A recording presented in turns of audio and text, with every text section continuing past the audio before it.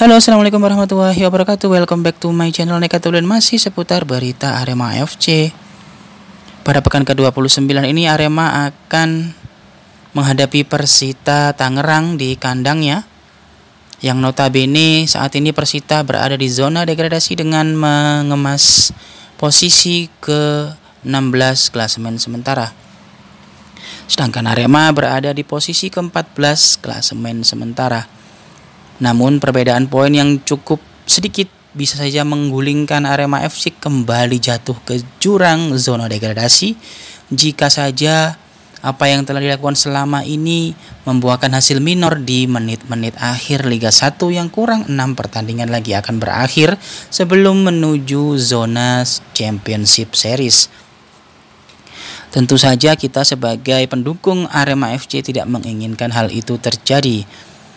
Namun langkah dari Coach Widodo Cahyono Putro untuk mengembalikan masa-masa kejayaan Arema FC nampaknya sudah mulai terlihat. Berbekal dari empat kali pertandingan tanpa kekalahan dan mengemas tiga kali poin penuh serta satu tambahan dari satu pertandingan menghasilkan Arema FC keluar dari zona degradasi selama di bawah kepemimpinan Coach Widodo Cahyono Putro. Dan saat ini Arema berusaha memperlebar jarak aman dari kompetitor terdekatnya di Liga 1 guna untuk bisa mengemas posisi ke-13 klasemen sementara menggeser Rans Nusantara FC apabila Arema berhasil menang melawan Persita Tangerang sedangkan Rans Nusantara FC mengalami hasil minor pada pekan ke-29 ini.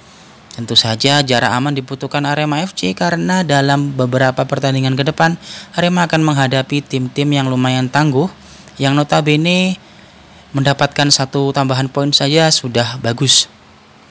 Jadi untuk memperlebar jarak kemenangan wajib didapat pada pekan ke-29 ini menghadapi Persita Tangerang.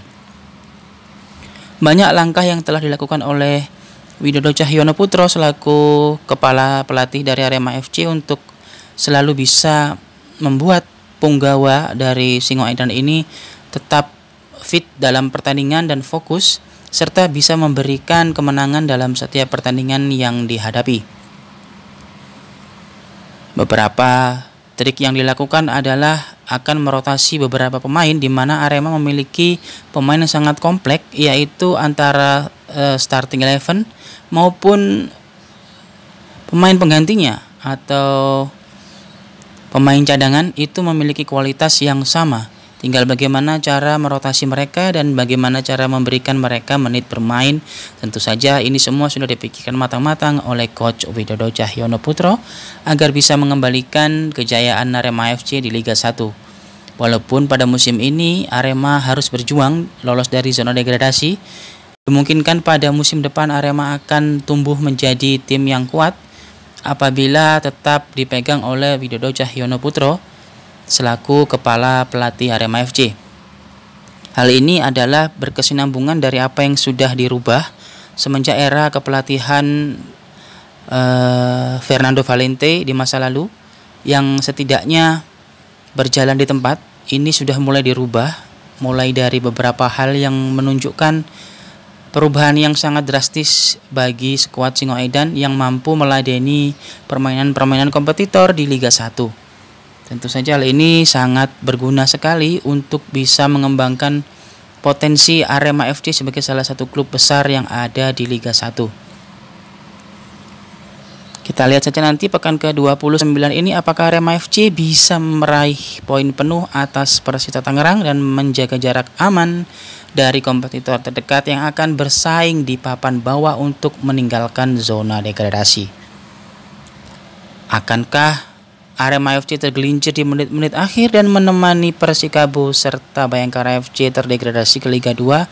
Semuanya tergantung dari enam pekan terakhir ini Arema harus mampu mempertahankan konsistensinya berada di tren positif yaitu jalur tanpa kekalahan. Menurut kalian bagaimana guys? Silahkan tulis di kolom komentar nanti akan sama-sama kita bahas.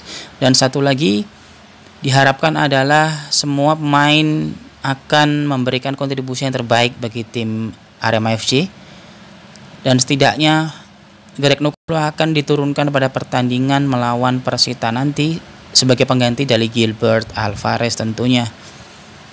Hal ini digunakan untuk memberikan jam bermain bagi Greg Nukolo yang Mimin rasa masih mampu untuk melakukan hal sebagai seorang striker yang haus gol di Liga 1 ini.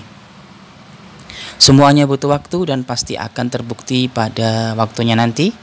Semoga Arema FC bisa terus memberikan warga Malang ini menjadi suatu kebanggaan dan dukungan dari masyarakat. Aremania tentunya sangat dibutuhkan Arema FC untuk bisa mempertahankan eksistensinya di Liga 1 sampai musim depan. Terima kasih Nekatuli mengabarkan ini dari Kabupaten Malang.